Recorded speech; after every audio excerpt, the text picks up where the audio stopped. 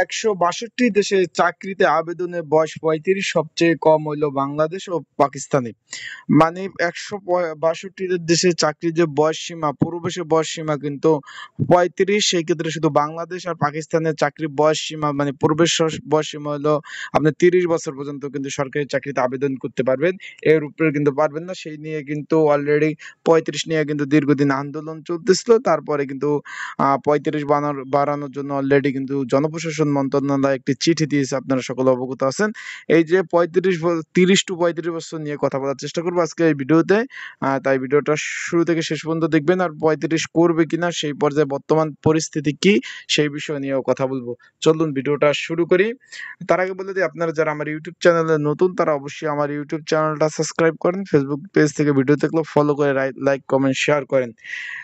চাকরিতে প্রবেশের বয়সসীমা বাড়িয়ে পঁয়ত্রিশ বছর করার পক্ষে নিজেদের মত দিয়েছে জনপ্রশাসন মন্ত্রণালয়। ক্যাডার কর্মকর্তা সংগঠন বাংলাদেশ অ্যাডমিনিস্ট্রেটিভ সার্ভিস অ্যাসোসিয়েশন। অবসরের বয়সসীমাও বাড়িয়ে পঁয়ষট্টি বছর করার আবেদন জানিয়েছে সংগঠনটি। এরপর থেকে দীর্ঘদিন ধরে ঝুলে থাকা বিষয়টি ফের আলোচনায়। আন্দোলনত চাকরি প্রার্থীরা নতুন করে আশাবাদী হয়ে উঠেছে, তবে এর বিরোধীও কম নয় অনেকেই। এখানে কিন্তু বলছে যে আন্দোলনকারীরা যে পঁয়ত্রিশ বছর যে বাড়ার জন্য যে যারা যে আন্দোলনটা করছিল দীর্ঘদিন, সেই পক্ষে থেকে কিন্তু এখন একটা আশাবাদী তারা যে তাদের এই আন্দোলনের সমর্থন জানিয়ে কিন্তু জনপ্রশাসন মন্ত্রণালয় পঁয়ত্রিশ বছর প্রবেশ সীমা এবং সেটা বৃদ্ধি করে আর অবসর পঁয়ষট্টি করতে, করার জন্য দিয়েছে। কিন্তু এর বিরোধীও আছে অনেক। তার কারণে বলছে বিরোধীও কম নাই।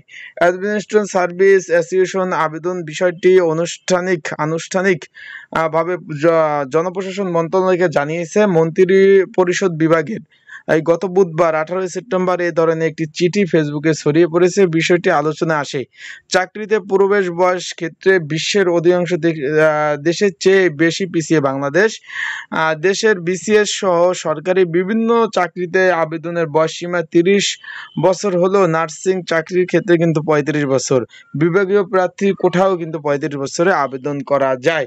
এছাড়াও বেসরকারি স্কুল, কলেজ পঁয়ত্রিশ বছর বয়সে পর্যন্ত আবেদন করা যায়। তবে বিশ্বের একশো বাষট্টিটি দেশে সরকারি চাকরিদের আবেদনের বয়সীমা পঁয়ত্রিশ। অনেক দেশে এটি উন্মুক্ত করা হয়েছে। সাম্প্রতিক বিবিসি বাংলা এক প্রতিবেদনে এ তথ্য জানানো হয়, ভারত রাজ্য ভেদে এ চাকরির ধরন অনুযায়ী, ভারতের রাজ্য এ চাকরির ধরন অনুযায়ী আবেদনের বয়সীমা বত্রিশ থেকে বিয়াল্লিশ বছরও কিন্তু আছে। ভারতে ভারতে অনেক কয়টা রাজ্য এই রাজ্য ভেদে কিন্তু বত্রিশ থেকে বিয়াল্লিশ বছর আছে। তবে নারী ও প্রতিবন্ধীদের জন্য চল্লিশ বছর পর্যন্ত আবেদন করতে পারে ভারতে।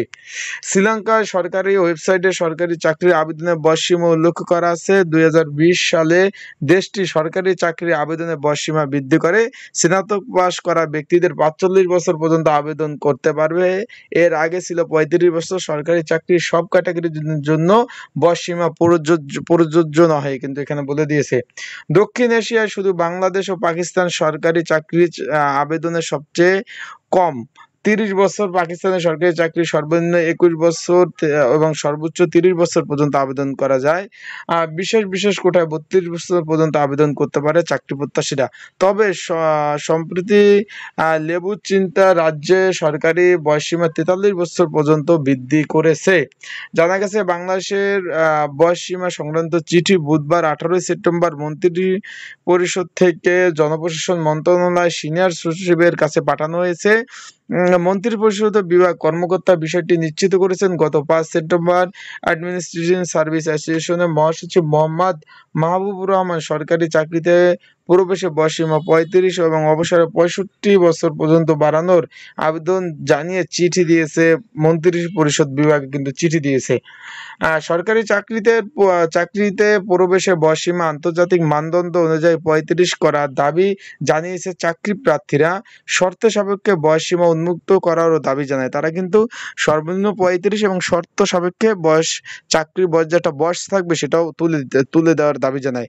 এর আগে সাত দিনে আলটিমেটার দিয়ে চব্বিশে আগস্ট মহাসমাবেশ করার ঘোষণা দিয়েছিল তারা। তবে বন্যত্বর অন্য পরিস্থিতি বিবেচনায় সমাবেশটি কিন্তু স্থগিত করা হয়।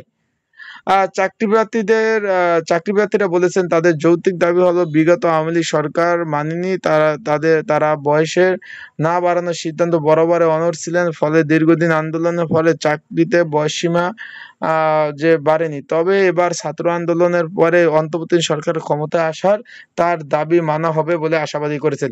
মানে এইখানে বলছে যে আসলে তো বুঝতে পারছেন সব বিষয়টা, যারা প্রথম থেকে দেখছেন যে বিভিন্ন দেশে কিন্তু বিভিন্ন বছর কিন্তু নির্ধারণ করা হয়েছে। আশা করি আপনারা বুঝতে পারছেন চাকরি সংক্রান্ত বিষয় জানতে কিন্তু অবশ্যই আমার ইউটিউব ফেসবুক পেজে কিন্তু চ্যানেল কিন্তু চোখ রাখবেন।